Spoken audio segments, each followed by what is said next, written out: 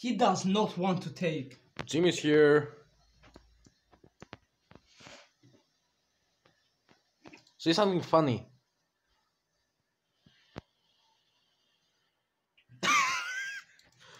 They're reviewing Fanta Exotic. Yeah, um, yeah. Exotics, all good. Evans Exotic. Fanta Exotic. Did I do? Could Kud naturlige aromaer. Those are words of wisdom. So what does it have? Orange, peach, and probably ki- kiwi. And that's like dragon fruit. I don't know. Practically, I don't care. Well, kinda. Why bro be standing up to play this? Look at, man. look at this guy. Look at this guy. Bro, bro be standing up. I won on time. Oh. He won on time. Clean pop.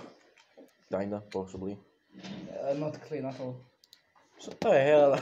You you. Uh, Smells like the Pipeline Punch. Smell this. no, it doesn't. Yes, it does. No, it doesn't. Okay. Literally doesn't, fam. Literally doesn't, mate. Literally doesn't. Literally doesn't. Very good. Literally doesn't. Jim, we talked about this. You are not. A, Literally doesn't. Jim, we talked about this. You are not an Indian scammer. Literally doesn't. This is pretty big W. Not gonna lie. Is it though, Max? Yes, try it.